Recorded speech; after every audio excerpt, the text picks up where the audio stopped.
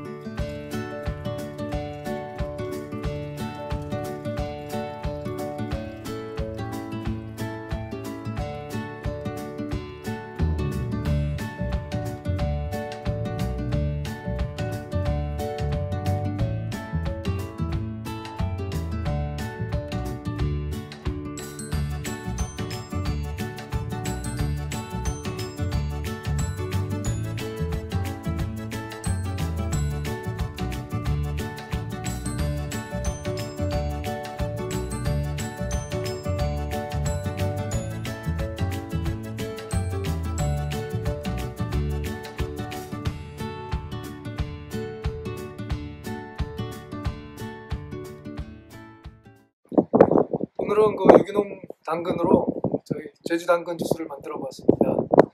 이상 제주농부 윤홍부였습니다. 고맙습니다.